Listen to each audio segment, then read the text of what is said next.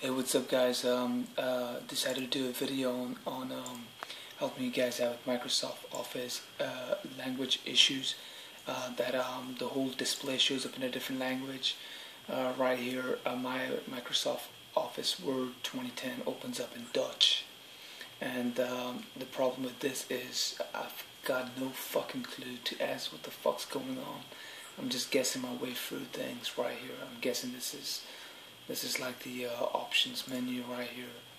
And uh, once it's opened up, no idea what's going on in here. I mean, it's just completely different language, and um, it's it's been a hassle uh, trying to figure out how to change this, uh, the whole display language um, issue. Uh, so I want to change this to English.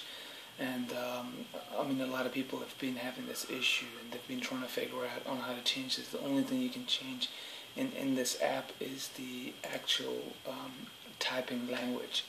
So if you want to type in, um, it, it, you can change that to English, but um, we don't want to. We don't want that. I mean, um, I can type fine. I mean, in English, as you can see right now, it's fine.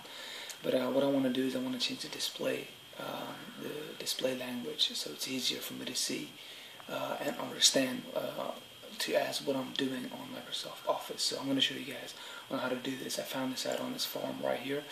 Uh, someone asking for help on Microsoft and this guy has responded back. Uh, so by clicking on this link right here, it takes me to this website where um, where I can uh, download the, um, the, the language pack but I think I went over to the wrong video right here. That wasn't the one. Um, it is over here, my bad. This is the link right here. And uh, from here we can uh, download um, what call this, the uh, service pack. And, uh, no sorry, not the service pack, my bad, the language pack right here. And um, by downloading this, uh, you can actually, with, without having to uninstall the whole Office again and then reinstall it um, according to English. Well, what, what, you can do is just download the language pack from here, whichever language you're looking into, uh, changing your whole thing. So starting from Arabic uh, all the way down to whatever languages uh, you guys speak or you guys want to change your uh, language into. Um, so I'm going to go ahead and I'm interested in English and I've already downloaded a copy of this. So I downloaded 64-bit. I have it in my uh, download. So what I'm going to do is I'm going to go ahead and I'm going to download this. Um, install this right now. So we go over to downloads and uh, right here English language pack for 2010. That's the one. Yeah. Yeah. Um, okay.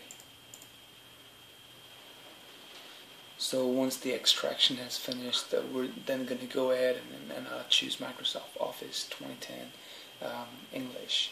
So what this is going to do now is convert the whole application into um, right here. Okay, so you have three different options, but I mean we're using Office, so we're going to change it into English. So continue, and um, there should be license agreement right here. Yeah, accept. Okay, continue, and then install now.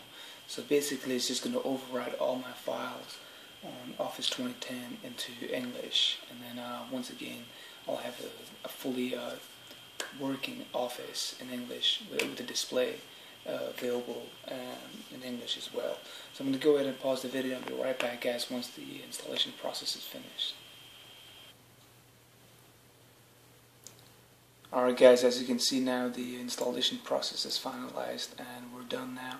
So I'm going to do, I'm to shut that down and I'm to reopen Microsoft Office so we can see that it's actually changed into English now. Um,